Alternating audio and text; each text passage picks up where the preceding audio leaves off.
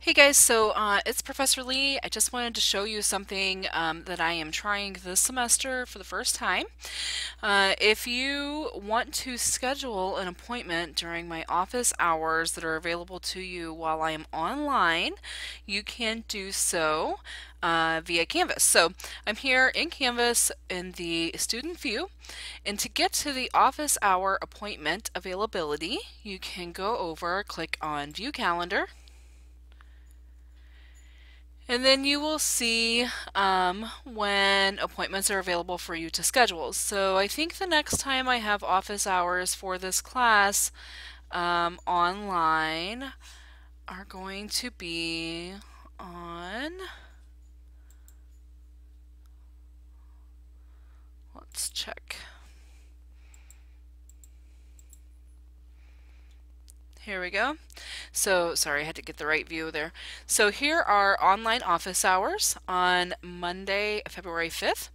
And I have appointments from 9 to 9, 9 o'clock, 9.30, 10 o'clock, 10.30 a.m. So if you want to schedule, what you need to do is go in and click on the slot that you want to reserve and reserve the appointment. And there's some information here that tells you how we're going to do that. So we will end up meeting online via a zoom conference. It's super easy. You can do it from your desktop. You can do it from your laptop. You can do it from your phone if you would like to. Um, and you just basically click on this link here. If you um, want to video conference we can do that. Uh, otherwise you can tap to call in from these uh, phone numbers. If you have have an iPhone, or you can dial in if you are dialing in from anything other than an iPhone. You'll need to put the meeting ID in. That is it down there. Um, and so you can comment. It would be helpful if you told me what it is that you wanted to meet with me about. Um, and you can put that in the comments there.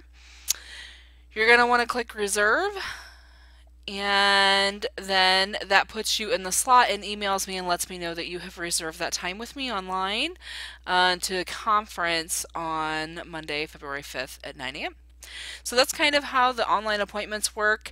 You can uh, check that out and feel free to reserve an appointment. One thing I would like for you to note is that these appointments, these Zoom conference appointments, are by appointment only.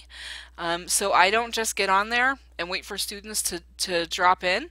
It's by appointment only. So if you need to meet, then we will do so. If not, then I won't um, be on the Zoom conference. So that's it. If you guys have questions, let me know. Thanks, guys.